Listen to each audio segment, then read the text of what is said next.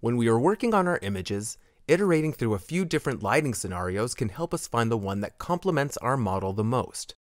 But this can be a very time consuming process that can be made a lot easier with a little inspiration.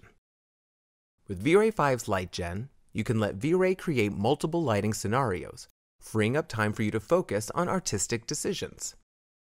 This approach is also very accessible for anyone starting out with 3D rendering, as it does a lot of the technical setup for you.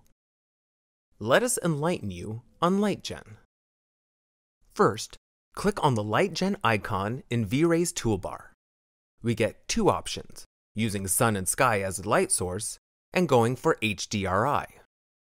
We will explore both, so first, let's pick sun and sky.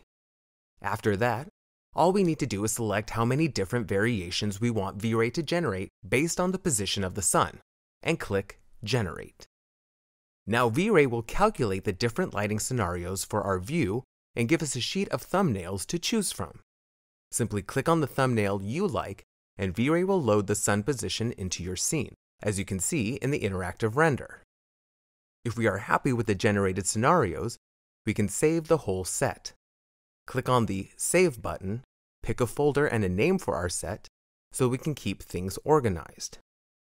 Now we can move on to our other option for light source, HDRI lighting. Click Reset, switch the light source to HDRI, and we are presented with a similar menu to the sun and sky option. Again, we can pick how many variants we want based on different styles and the rotation of the HDRI. But before I click Generate, I'll show you how we can load a light set in the same way that we just saved one. I've pre-calculated a light set with HDRIs beforehand, and from the Load button, I can select it and click Open. Loading a lighting scenario into our scene is exactly like when we generated sun and sky scenarios. Simply click on your favorite scenario and V-Ray will automatically create a dome light with the right texture and texture placement. Now you can go straight to rendering your image.